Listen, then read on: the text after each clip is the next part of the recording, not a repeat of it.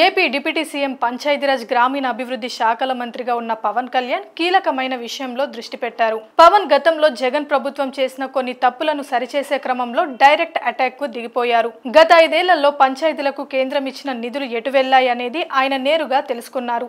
ఈ విషయమై ఆయన అధికారులతో ఆటాడుకుంటున్నారు. పవన్ రంగంలోకి దిగడంతో అధికారుల గుండెల్లో రైలు పరిగెడుతున్నాయి. అసలు విషయంలోకి వెళ్తే ఏటా పంచాయతీలకు కేంద్రం నిధులు ఇస్తుంది. మేజర్ పంచాయతీ మైనర్ పంచాయతీ పంచాయతీ ఇలా మూడు భాగాలుగా విభజించి నిధులు అందిస్తుంది.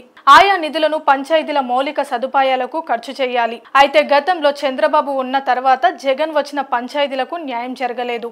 ఇక్కడ కాదు తెలంగాణ సహా దేశవ్యాప్తంగా ఒక్క బీహార్ తప్ప అన్ని రాష్ట్రాల్లోనూ ఇదే పరిస్థితి నెలకొంది. అయితే అక్కడ కన్నా కూడా ఏపీలో వైసీపీపై తీవ్ర వ్యతిరేకత నేపథ్యంలో పంచాయతీల అంశం ప్రధానంగా ఎన్నికలకు ముందు చర్చకు వచ్చింది. పంచాయతీ నిధులను కూడా జగన్ ప్రభుత్వం నవరత్న పథకాలకు మల్చేసిందని వాదన వినిపించింది.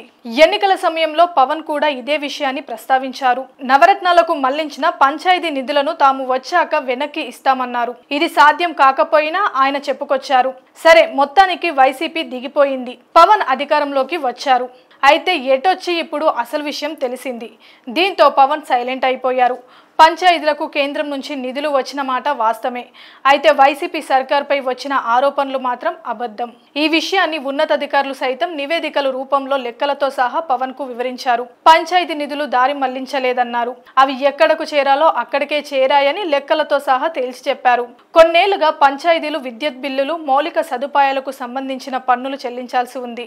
ఇవి కేంద్రానికి లేదా ఆయా సంస్థలకు వెళ్ళాలి. ఈ విషయంలో రాష్ట్ర ప్రభుత్వాలు గతంలో పట్టించుకోలేదు. దీంతో కేంద్రం ఉక్కుపాదం మోపి వాటిని ముక్కు పిండి వసూలు చేసుకుంది. దీంతో జగన్ సర్కార్ పంచాయతీ నిధుల నుంచి వాటిని చెల్లించింది. నవరత్నాలకు మాత్రం వినియోగించలేదు. దీంతో పవన్ సైలెంట్ అయ్యారు. అయితే ఇక నుంచి ఏం చేయాలన్నా దానిపై ఆయన దృష్టి పెట్టనున్నారు. నేరుగా పంచాయతీలకు నిధులు ఇస్తే బిల్లులు కట్టరు. అలాగని ప్రభుత్వమే తీసుకుంటే వైసీపీ సర్కార్కు వచ్చిన చెడ్డ పేరు వస్తుంది. దీంతో మధ్య మార్గం ఏంటనేది ఆలోచించాలని పవన్ ఉన్నతాధికారులకు పెద్ద పరీక్ష పెట్టారు. మరి వారు ఏం చేస్తారో చూడాలి.